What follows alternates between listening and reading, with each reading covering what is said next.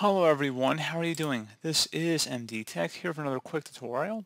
In today's tutorial I'm going to show you guys how to resolve if Windows 11 is unable to use or utilize all of the available memory installed on your computer.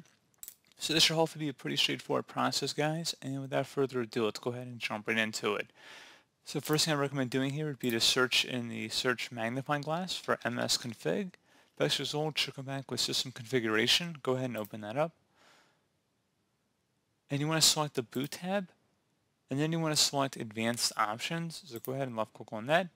Checkmark versus number of processors. Click inside the drop down here. Set it to 2 or if you have more than 2 you can select more than that. And then for maximum memory click inside of here. And you want to insert the maximum amount of RAM you have installed in your computer. So if it says 0 for some reason you want to delete it and type in megabytes how much memory you have. So let's say you have 8 gigabytes of RAM. So you could always open up a calculator here. And there are 1024 megabytes in a gigabyte. So multiply your number of RAM in gigabytes by this 1024 and that'll get you a number here. So if you're using 8 gigabytes of RAM on your system, that's the number you'd want to type in.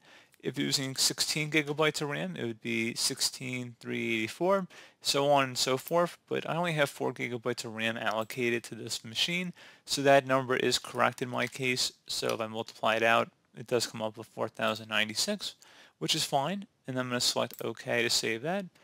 And now that you've done that you want to go ahead and close out of here. Open up the start menu again type in adjust.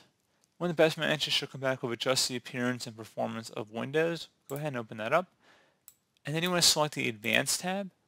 Underneath virtual memory a paging file is an area on the hard disk that Windows uses as if it were RAM go ahead and select the change button.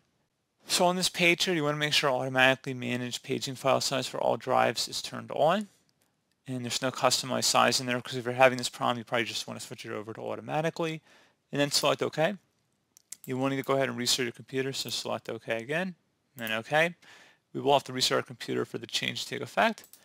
One other thing I want you guys to take a look at, if you just recently installed memory on your computer, actually make sure that everything is put in and that it's snug against your motherboard so the RAM is popped in and it's connected properly. It's not loose. So that's something I would recommend you guys actually open up and check if you just recently did an update or an upgrade to your RAM. So that's definitely something that could be happening. RAM modules really very rarely go bad. So that's probably not what the problem is, but it may not be properly secured.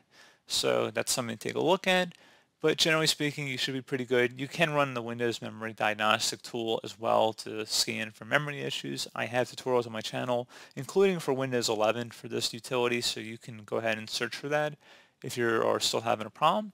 But that should hopefully be about it, guys. Do hope I was able to help you out, and I do look forward to catching you all in the next tutorial.